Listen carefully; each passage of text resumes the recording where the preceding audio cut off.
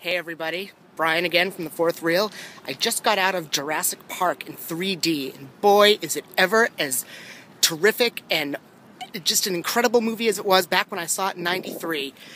I tell you, that Steven Spielberg, he knows how to make a movie, man. Um, it, it, if, if you didn't see it in 93, I highly suggest you hightail it to the theater and, and see it. And see it in IMAX if you can. What the hell? I mean, if ever there was something that should be seen in 3D, it's it's this one. I spend the eighteen dollars.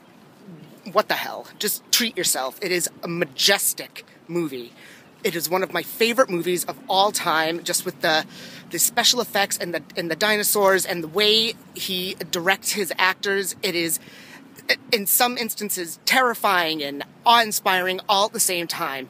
It is it is a fantastic movie, one of my favorites. I highly recommend you get out there and see it. If you didn't see it in 93, see it now. If you did, see it again. It's, it's terrific. It's terrific. I give it four reels.